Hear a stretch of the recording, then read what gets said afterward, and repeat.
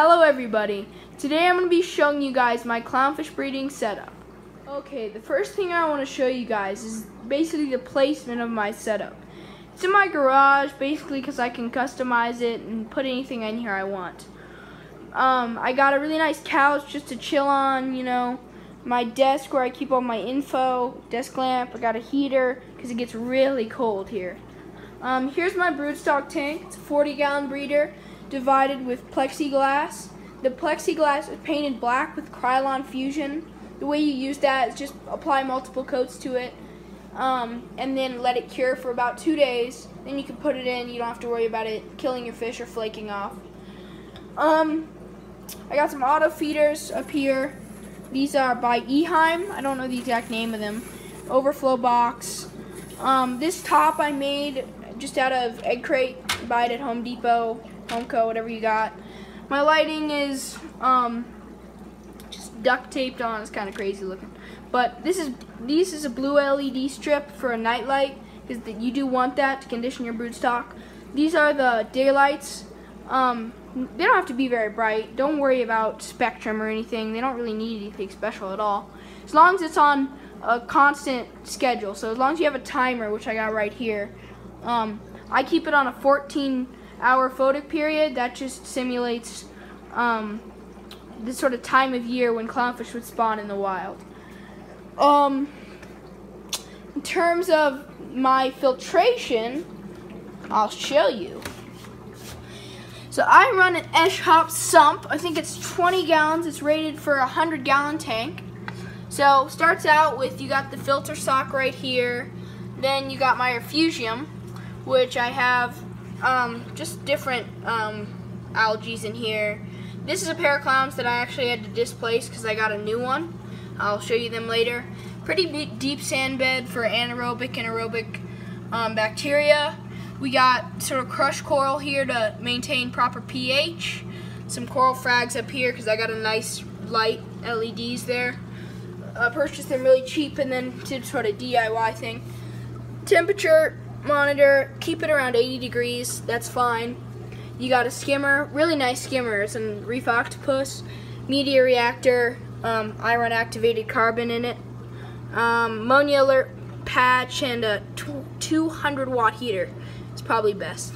And I'm in a pretty cold climate. I also run a auto top off. It's the Tunze osmolator. You can see the return tube right back there. It's black, and the um, the actual probe is in there with a return pump. Um, with yeah, it's really nice because it's got redundancy. Um, I run a canister filter just in case, like, say my overflow box were to get clogged or my pump start, stopped working and this tank um, stopped getting filtered by the sump. This guy would still keep filtering it for a while and I could basically maintain it for a long time. Here's my reservoir for my um, auto top off. Just a five gallon bucket with the pump in it. Here are all my tubes I keep for water changes and stuff.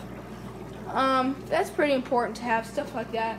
Got an extra 10 gallon tank over there, some cleaning supplies. You need a lot of duct tape you will need because you need to tape up wires, stuff like that. Oh, pretty important thing, keep all your wires and power strips above the tank or pretty close to above it so that if the tank overflows, you're not going to screw up all your stuff, have a fire, and your tank's not going to die within a couple hours. I keep a couple really useful stuff up here, you know, nets, brine shrimp net, um, uh, glass cleaner. Up here I got my test kit, hydrometer, and some storage areas for different air tubing and equipment. Um, just a little measures, useful. Got some different supplements, Chloramax, Sea-Lab Prime, dechlorinator, brine shrimp eggs right here. More 10 gallon tanks up there. Um, Here's actually my larval rearing setup. 10 gallon tank, three sides blacked out. Um, this table, I was lucky with this table. It's, it's, a, it's a cool table, just really simple. Good thing about this is actually white so that you can actually see how much detritus is on the bottom of your larval tank. 50 watt heater's fine. Um, keep the temperature around 80 degrees. Airstone by the heater to disperse heat. Extra airstone for redundancy thermometer, and ammonia alert badge. Um, you're going to want to black this side out in the first couple days the, the larvae are alive. because they only want light coming from one direction. 24 hour lighting is fine, nothing special. Just make sure it's not too bright. You can always dim it with like a cloth or something. Just from Home Depot, pretty simple. Uh, in terms of air pumps, we got this one here, which pretty nice. I got off of Amazon. This supplies water to my rotifers, which is a CCS starter kit, is the bucket and everything in it, from Reed Mariculture. Rotifers from Reed Mariculture. I feed them RG Complete, also from Reed Mariculture It's pretty simple setup. They have a guide on how to keep rotifers. I'm not going to go into that. They're pretty easy once you get the hang of it. Um, here's my Artemia hatcheries. They're just San Francisco Bay brine shrimp hatcheries attached to this air pump here. And that air pump is for the larval tank and my grow out tank over there. Here I got rotifer sieve because you don't want to put that water in with your larval clowns. Rotifer floss just because I can a little measure for food I can do. Defrost my mysis in there. Can also use that to um, measure out salt for water changes. Latex gloves, just because they're good for keeping your cultures clean. Little cabinets, like in here I got a razor, and it's really good to have syringes.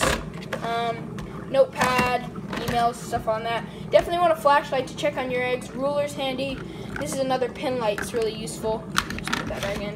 Got food here, um, my grow out system's pretty simple. You can see a little bit of a couple clowns in the back. They're pretty young. Sponge filter, some habitat. I think this is a 100 watt heater. That's correct. This light, you do want a timer, like 12 hours a day is fine. I got a calendar just to keep track of stuff. Basically, that's my setup, and just some stuff I wanted to add is these are my spawning clowns. They're red and black clowns, or cinnamons got these frostbite pair right here. Cinnamon's frostbites. And these guys I just got in today. Beautiful clowns. That one's a phantom and that one's a lightning maroon pair. They, uh, them I actually got in from iBlueWater. A guy named Bob helped me get them. Really, really cool guy. Sent me videos of them. Helped work with me. Gave me great price. Really good service. He's actually going to be buying one of my clowns that I had in my refugium. So just definitely check out those websites. Um, one is iBlueWater. Um, the and the other is Reed Mariculture. They're just like the best places you can get stuff to breed clowns. In terms of information on how to breed them, um, there's like clownfish breeding. There's a website. There's a WikiHow page. Um, if you go to Nano Reef, there's a page by it's called Pickle's Guide to, to Breeding Clownfish. Really useful stuff there. Basically, this is my clownfish breeding setup. Clownfish breeding is really rewarding. Just make sure you know what you're doing in salt water before you try to endeavor this because it, it's definitely not easy, but it's not too hard either. So thanks so much for watching and stay tuned for more videos. Okay, bye.